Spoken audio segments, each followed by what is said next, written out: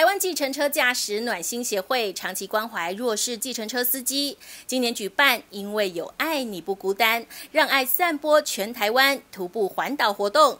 协会秘书长李永汉与黄少谷、王国春等问将们，在五月二十日一同走完最后一里路，圆满结束长达三十五天的关怀之旅。这三十五天，我们到了全台湾司机最多的地方，跟司机一起会合，哦，一起见面。呃，甚至很多司机一起参与这个活动，陪我们走，让司机朋友们能感受到我们协会对司机的关怀，这是我觉得最大的收获。我非常高兴，就是说企业不只是做企业，那还可以做一些能够关怀社会，尤其是我们能力所及，最起码在计程车这个产业这个领域里面，有一些需要我们关怀的。我们以前只是在我们自己计程车台湾大车队里面。那现在我们透过暖心协会把它扩大到全台湾的技能车，我希望这个协会真正能够做到是实实在在帮忙真正有需要协助帮忙的这些司机朋友们。在台湾大车队斜杠担任多元计程车司机的全方位艺人黄少谷，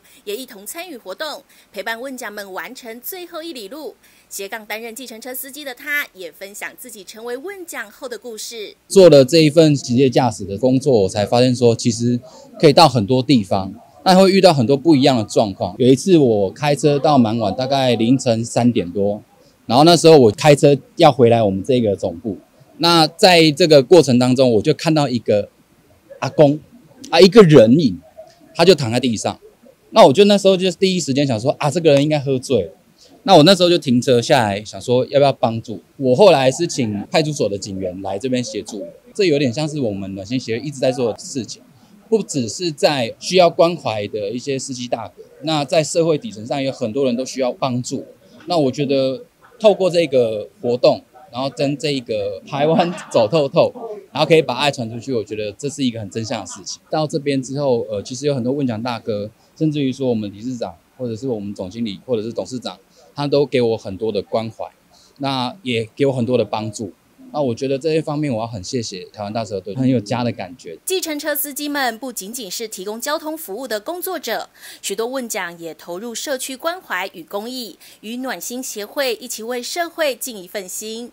我们司机朋友可以自己来关怀自己的群众。今天来到现场，这些都是司机朋友们，他们自愿自发牺牲了他们在外面可以工作赚钱的时间，愿意来支援这样的一个活动。台湾大车队的董事长在幕后默默的支持这样的一个活动，他不是只有第一年，而是长期以来都一直支持在这些司机朋友们相关的这些呃社会照顾的活动。我相信暖心协会不止只有今天，它的未来长长远远。那也透过这些司机大。个捐时间，能够帮助更多更多需要帮助的人。